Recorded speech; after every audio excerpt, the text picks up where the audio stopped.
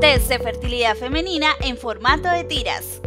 Se conoce que la fertilidad de la mujer suele comenzar a disminuir a partir de los 30 años de edad. Algo que suele desconocerse es que los niveles de FSH, hormona responsable del estímulo del crecimiento de los folículos, se encuentran íntimamente relacionados con la infertilidad de la mujer. Cuando estos niveles aumentan, suele significar que la mujer se encuentra en un estado de premenopausia o de menopausia. Este tipo de prueba permite testear su fertilidad en privado y discretamente en su propia casa.